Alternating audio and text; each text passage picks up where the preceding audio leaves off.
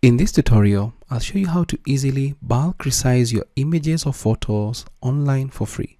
Welcome to this video. My name is David and I hope you're well wherever you are around the world.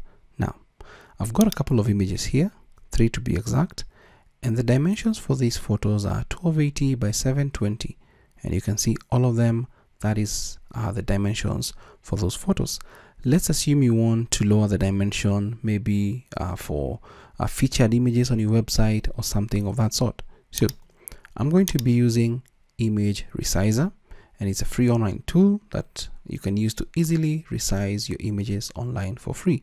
So right inside here there's the option called bulk resize. I'll click on that and once we get here bulk image resizer bulk resize photos to quickly change dimensions or file size. So whether you're looking to compress the photos or just uh, kinda uh, work your way around on the dimensions, then you can use this. I'll just click on select images and navigate to the folder with the photos or images I want to resize. So I'll just select them all and then click on open.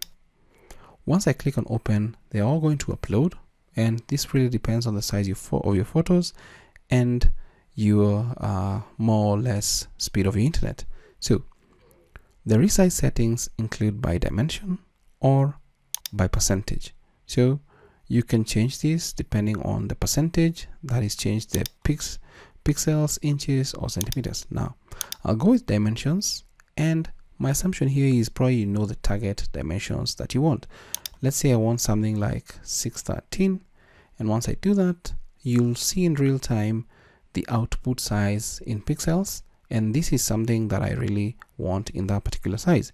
So that's really awesome and you can scroll down to see any other uh, issue here. Now the reason why you're getting this 613 by 345 is because the lock aspect ratio is on but if I wanted to add individual width and heights I'll need to uncheck this and then I can put in uh, whatever I want. But let's just keep it locked uh, so that uh, we can actually work with it. But now something you'll need to take a note of once we do that there's a change here. So we can just take this out uh, slightly and then just enter it again 613 that could be a slight bug but it's back to what we want it to be. Let's scroll down save image as and here you can change the output format either jpeg png webm let's say we go with jpeg. And that's okay and the target file size is also optional. Let's just click on export. It's going to take us to the download page and you can see the files have been uh, resized and you can download individually. If I click on this and then if I click on this and if I click on this if you like to download them all you can just click on download all images. And they'll come in as uh, a zip folder.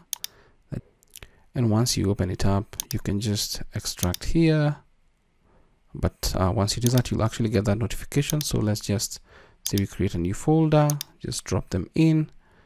And then just extract them here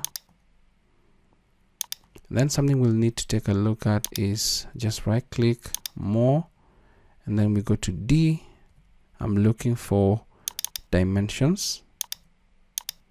And you can see we now have them in 613 by 345 like we wanted. We've bulk resized our photos using image resizer. Uh, super simple it's free it's online and you can see the photos uh, more or less you can actually even see the dimensions here still look as good as the originals right here.